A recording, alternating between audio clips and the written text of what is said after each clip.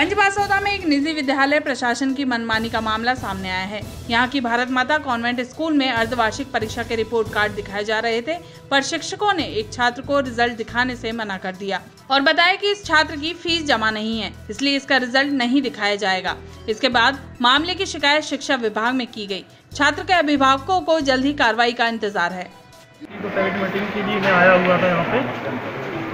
उनकी मैम ने बोला लड़के की बोले कि आपका रिपोर्ट कार्ड अंदर है आप अंदर जाइए। तो मैं अंदर गया तो सिस्टर का कहना ये था कि आपने फ़ीस नहीं भरी इसलिए रिपोर्ट कार्ड आप नहीं दे सकते। आप पहले फ़ीस भरेंगे इसके बाद रिपोर्ट कार्ड कितनी फ़ीस थी लगभग विद्यालय की? शायद दो महीने की चार हज़ार कुछ रुपये जी फिर? कुछ नहीं उन्होंने बाहर कर दिया। पेरेंट्स लोगों को सूचित नहीं किया गया बच्चों को बाहर कर दिया। बच्चों को मेरे को भी बाहर कर दिया तुमने। बोले आप फ़ीस भरेंगे तो रिपोर्ट कार्ड दिखा पाएँगे आपको। मंडे आना। फ़ीस जमा नहीं किया था वो तो मैंने बताई थी। जी। मंडे।